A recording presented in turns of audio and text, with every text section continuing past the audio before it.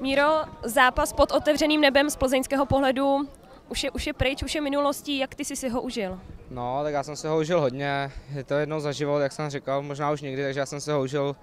Škoda těch třech bodů, který jsme jim tady nechali, no.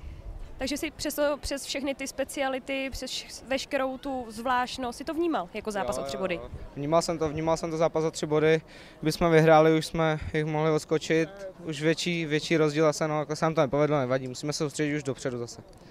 Co podle tebe v tom zápasu rozhodlo? Eh, Rozhodlo, já nevím úplně, myslím si, že druhá třetina jsme mohli vyrovnat 3-3, pak jsme v zápětí dostali, no, už jsme to těžko doháněli, pak už do prázdný brány, to už je. V zápase padl i divácký rekord. A Jak tobě se líbila atmosféra? Jo, tak já mám rád zaplněn tribuny, lepší než kdyby přišlo málo lidí, takže já jsem rád, že se mi to líbilo.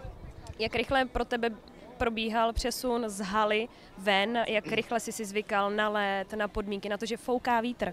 No, já jsem se na to moc nezvykal, já se nerad vymlouvám, takže já jsem se spíš soustředil sám na sebe, abych podal co nejlepší výkon a to ostatní jsem moc nevnímal.